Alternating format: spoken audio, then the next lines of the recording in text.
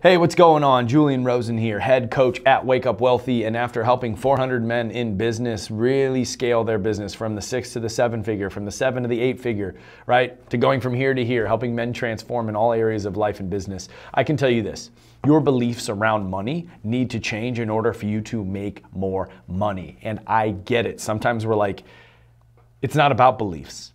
It's about how hard you work. It's about how hard you grind. It's about how intensely you attack the marketplace. I get it. I've been there. I used to believe that. I used to believe that my beliefs had nothing to do with the amount of money in my bank account, and it was all about work and deals. Now, I've spent the last five years diving into how the subconscious mind works and how the subconscious mind impacts the results that we create. Because I'm sure you've seen the, the, the statistic that 5 to 6% of our decisions come from the conscious mind. The other 95% come from the subconscious level. And so, if 95% of what we choose is truly determined at a subconscious level, yeah, our subconscious beliefs about money are going to have a tangible impact on how much money we make, how much money we receive, and how many money making actions we allow ourselves to take. And really, really quickly, what you believe will be reflected back to you. Also, if you do not believe something is possible deep, deep down, you cannot affirm it for yourself. If you do not believe that something is possible deep, deep down, your subconscious mind will not let you manifest it. It will not let you actualize it. It will not let you experience it.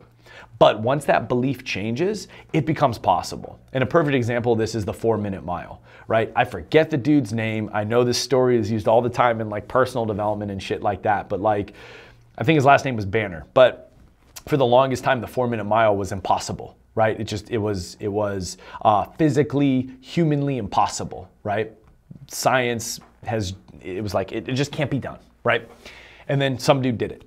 Some dude did it. And then in the couple years following, another dozen people broke the four minute mile. This thing that mentally people were like, I just, no one believed it was possible, therefore no one manifested it, no one actualized it, no one achieved it. But once someone did it, everyone's beliefs shifted and then everyone started doing it. Everyone started to achieve it, right? Your belief has to come first in order for you to achieve it or receive it. The belief must come first. And actually, if you look at your life, this is already happening. The amount of money you're making right now is a direct result of what you believe you are able to make or what you believe you are worth.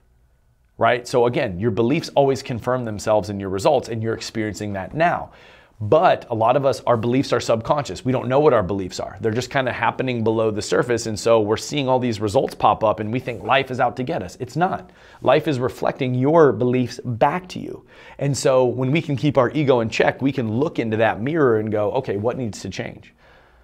And so if you look at the most recent findings in cognitive psychology and neuroscience, Truly, our subconscious mind is always confirming our beliefs for us. And that is why beliefs around money, if you want to make more money and keep it and hold it and use it, right?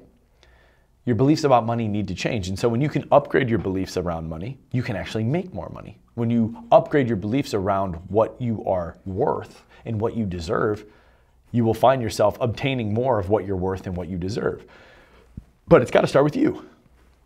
It's got to start with you first taking ownership of your beliefs. Have you ever thought about what you think about money? Have you ever th- observed or took an audit of what you do believe about money? Because I used to believe money was hard to get and hard to keep. I used to think uh, rich people were gross and bad and, and greedy. And so these two beliefs, right? If, if, I, if I think money's really, really hard to get and being rich makes you bad, guess what? My subconscious mind would not let me make money. And guess what? I would have these uh, beautiful big months where I would make a ton of money. And guess what?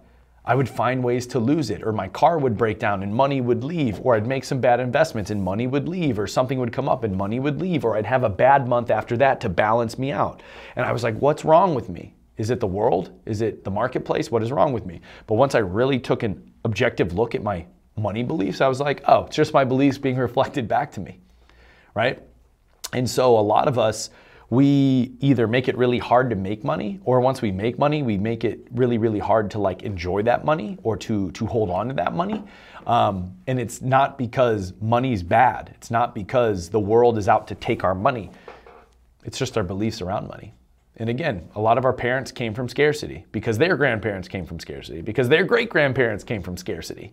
And so a lot of us, that just gets passed down generationally. That story gets passed down, and boom, we take it. And so it's not your fault if you have a uh, a non-optimal relationship with money. It's not your fault, but it is your responsibility to change it if you want to make more of it in a more easy way. And you know, a personal example. Uh, one of the guys that we coach here at Wake Up Wealthy, um, he thought money and success had to be really, really hard. And we did some mindset work to shift the belief that, dude, you can succeed peacefully. You can make the money you want peacefully. And he's like, no, no, no, it's all, it's got to be hard. No, that's just a belief that you confirmed back in your past. But like, dude, open your mind and maybe, just maybe, making money can be easy and peaceful. And he had a 25K week. He was a life coach. He had a 25K week. He's like, I've never made money like this. It was so easy. I'm like, yeah, man, enjoy that, right? And so, you know, and, and again, I've seen this in my life. I've seen it hundreds of times with the dudes we coach at Wake Up Wealthy. It's like, dude, when you change your beliefs around something, the result becomes different. Just like the four minute mile, when you change your belief about something, when you believe it's possible, when you believe it's attainable, your actions change, your mannerisms change, your level of motivation changes, and the results you create change. And so let this video be that call to action. Look inward. What do you really believe about money? What do you think about money? What emotional charge do you place on money and income and worth and rich and poor and all that? And when you're taking this audit, notice what stands out. Do you think money's hard to make? Do you think money is scarce? Do you think people that have a lot of it are bad? You, like, if you want to make more of it, you need to neutralize your beliefs about it. And then you need to accept positive beliefs because, dude, beliefs are changeable. Beliefs are just thoughts we've had a lot. That's it. That's all a belief is. It's a story that we've convinced ourselves is true because we've created self fulfilling prophecies and a bunch of evidence to declare it true but it's all like clay. It's moldable, it's changeable. Your brain is like clay. It's moldable, it's changeable. It's called neuroplasticity. Your brain can change any moment. Your brain is changing as a result of you watching this video. So your brain's always changing. So why not change it for good?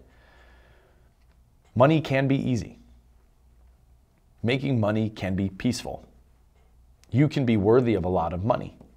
Whatever number you want, you can be worthy of that. You can achieve that. The belief precedes the accomplishment accepting that it's possible precedes actually doing it.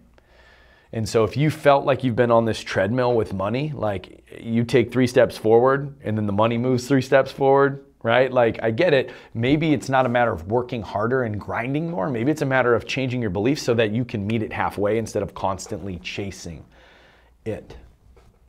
So I can say with absolute certainty, please hear the sincerity in my voice. When you change your beliefs around money, you'll make more money. When you change your beliefs around money, you'll make it more peacefully. You'll make it more easily. You'll make it with less suffering. You'll make it with less struggle. And that's just the way beliefs work. So, if what was said today in this video stood out to you and you want to learn how to use this and put it into practice, just go to wakeupwealthy.com. We have tons of free trainings, tons of re- uh, free resources of how to actually like rewire your mind because it's possible every single moment it's possible. Um, and so we have some really powerful tools there. Um, also some tools on how to build your business on how to leverage your assets to make more money on how to level up your performance how to move you know past anxiety. We have everything a man in business needs to really dominate mind body spirit and business. So head to wakeupwealthy.com if anything i said today resonated with you. So any questions just post them in the comments and we'll create more content around supporting you and what you need uh, again my name is julian rosen if you ever need anything reach out and I'll see you in the next video.